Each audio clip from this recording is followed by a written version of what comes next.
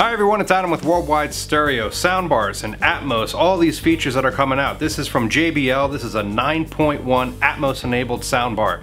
Let's get into it. The JBL Bar 9.1 is a nine channel surround sound system with a single woofer. That's how they come up with the 9.1 and I'll explain all those channels in a minute here. Thank you everyone for subscribing to our YouTube channel and always communicating your questions and comments. I love it, keep it coming. The JBL 9.1 powered soundbar. Tons of power, 800 plus 800 plus watts, and these are really, really cool. So these are detachable speakers. You put them on the side if you don't want to have any weird kind of sounds going and they click right in. The magnet's really strong actually.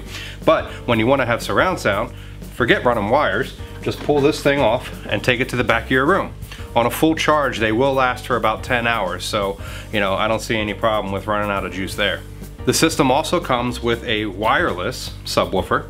It's a 10 inch down firing subwoofer and it has a lot of output, a lot of boom. As far as connectivity goes, on the back you'll have an HDMI in and an HDMI out, and it is a 4K pass-through, so if you send a 4K signal through it, it will go up to the TV. But you have to be careful, if you have multiple sources, you may want to connect all of your sources to your TV. Most of today's TVs have four HDMI inputs. One of those is labeled specifically ARC, which stands for Audio Return Channel. So if you connect that spot of your TV to the HDMI ARC on the JBL, all of your sound from all of those other sources will come into the soundbar. One of the things that makes this soundbar really special is it does Atmos. Atmos is a new surround sound format that adds elevation to your soundstage or to your mix. So uh, for instance, when you hear a helicopter around you, you can actually hear the sound way up high. When if it scoops down, then the sound will come down low. So now when you watch a movie, not only does sound go front to back, left to right, it goes up and down as well. And they do that by putting these Atmos enabled speakers on top and this is the really cool part. I haven't seen this yet. I've seen soundbars that have Atmos speakers on top. I haven't seen speakers that have Atmos speakers on the rears. And these being battery powered is even cooler. When setting up the rear JBL speakers, you want to first pull them off the bar. They're a little snug, but not overly tight, and then place them in the rear of the room. You want to lay them flat as they were when they were connected to the soundbar so that the Atmos speaker, which is on top, will fire up into the room so you can get the rear Atmos effect. Start by taking the left speaker, pull it off, and then rotate it 180 degrees so that way the charging dock is now on the outside. You want to follow and do that again with the right speaker, so pull the right speaker off, turn it 180 degrees, so that way the rear surround speaker is now firing back into the listening position and both of the Atmos speakers are firing up into the room. Those four speakers, your surround left, surround right, your Atmos rear left, and your Atmos rear right, that's four channels. Then plus your front three speakers, your front left, your center, and your right, that'll make seven. And then your front Atmos speakers, which are on top of the bar, that's two more, which will make nine adding your woofer a 0.1. So this is again a full 9.1 surround sound experience in one simple, easy to use and convenient package. I mentioned you have the HDMI input on the back for your HDMI ARC connectivity and that's also the only way that you're gonna be able to transmit a Dolby Atmos soundtrack into that. So if you're using your TV as a smart TV and you're watching a movie that's in 4K and Atmos, if you run it to the optical connection, which this has as well, you will not get Dolby Atmos. You need to use the HDMI connection to get ARC. As well as using the HDMI connection, you do also need to make sure that your HDMI connection is compatible with what's called eARC or Enhanced ARC. Enhanced ARC is the technology that allows Atmos to come from the TV down to a soundbar or a receiver.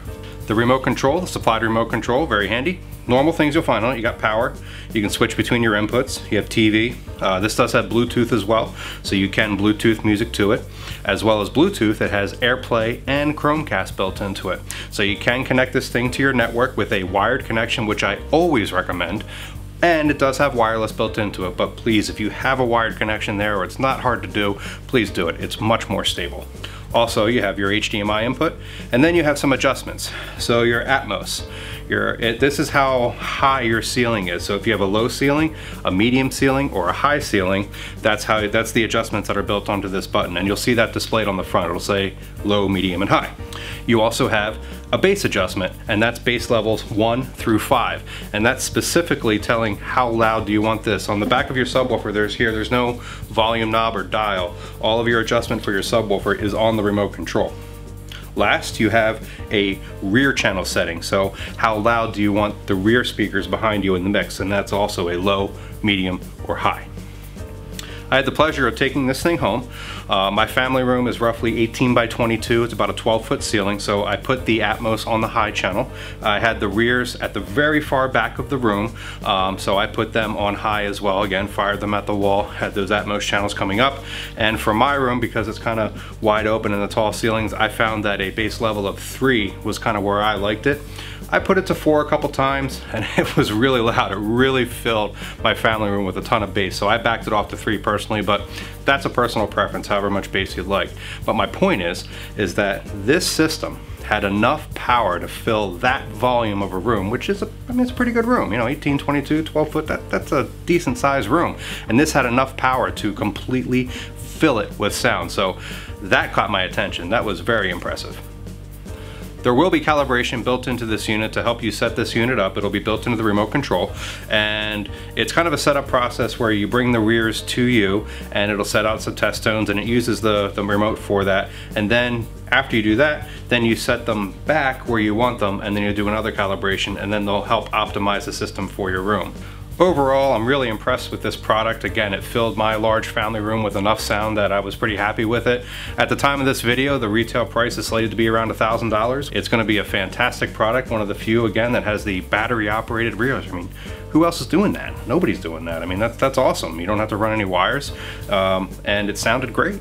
This is the JBL Bar 9.1. It'll be available online at worldwidestereo.com. We offer free shipping, a 60-day return policy, and we're authorized dealers for everything that we sell here. If you have any questions about this, feel free to leave those in the comment section below or call or email us at any time.